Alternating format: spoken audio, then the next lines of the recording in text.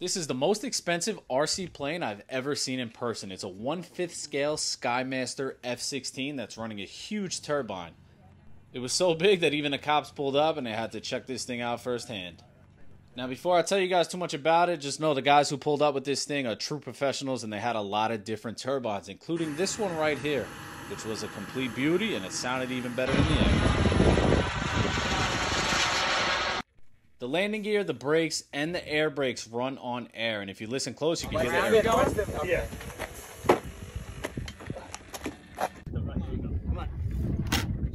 In the nose of the plane, we're running six batteries three for the lights, two for the receiver, and one for the turbine computer.